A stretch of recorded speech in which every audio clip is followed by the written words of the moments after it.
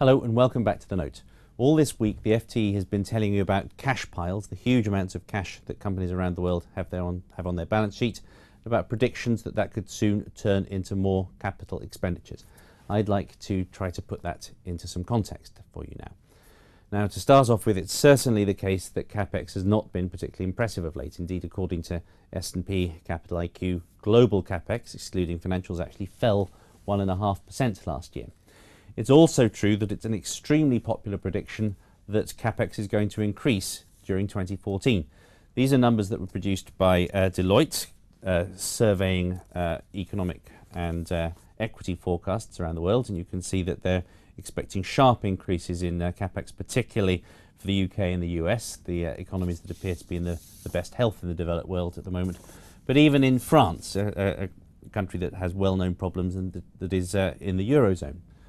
Not only that, but investors want companies to do more capex. This is a chart from Merrill Lynch's regular survey of uh, international fund managers, and you can see that during the crisis, they were desperate for companies to clean up their balance sheets, and then for a few years after the crisis, they wanted companies just to disgorge their cash to them in the form of uh, dividends or buybacks.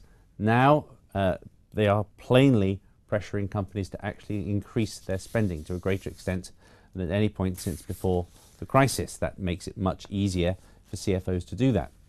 And indeed, if we take a look at this uh, graph also from Deloitte, of uh, CFO sentiment. This is for the UK. You can see that uh, CFOs are feeling much more confident. They have much more appetite for risk than at any point since the crisis.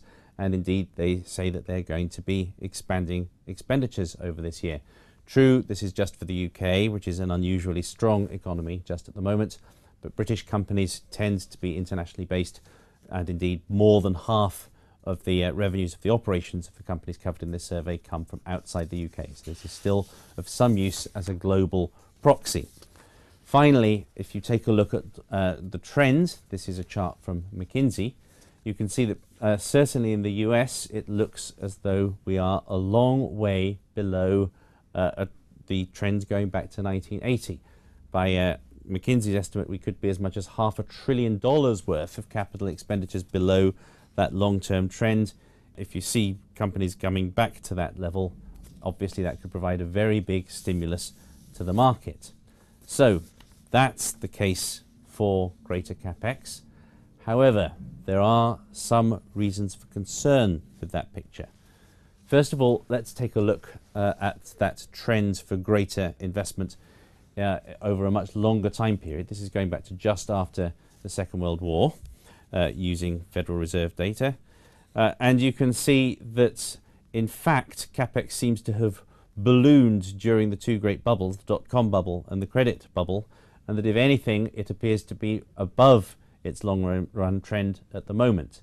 Those high expenditures of capex, the appearance that we're below the trend at the moment, could just be an artifact of excessive and unnecessary expenditures that were made during the uh, boom when either equity finance or credit was just too cheap for companies. Add to that, if you take a look at Germany, this is again on McKinsey's data, Germany is one big developed economy that hasn't had a housing bubble or any other big investment bubble in recent history.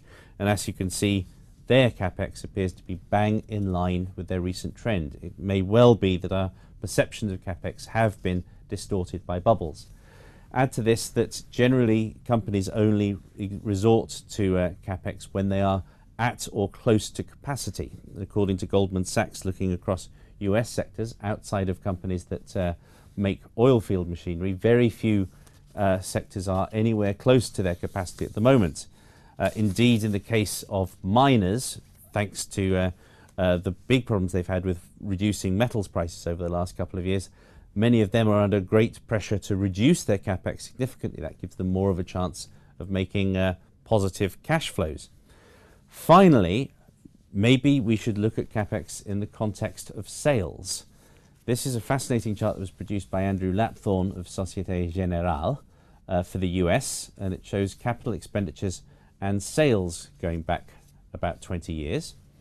Uh, and you can see that uh, while capex has been unexciting over the last few years, it has actually grown more than sales for S&P 500 companies over the last couple of years, and that ratio of capex to sales is actually right near the top of its range. That implies, if anything, that companies may have been borrowing to uh, spend over the last while, and that if you were to see any great increase in capex from here, it might be a dangerous sign of hubris. Often, uh, increased capex is a late cycle move, suggesting that CFOs have become overcautious, that they are extrapolating strong growth for years into the future. So, yes, it's true that companies have a lot of cash at the moment, and it's true that capex has been very unexciting for a while. It is not, however, quite as clear as it might first appear, either that we really are going to get a lot of capex, um, particularly if you include the mining sector, uh, or that that increased capex will be such a great idea uh, for companies, or even maybe even for the economy as a whole.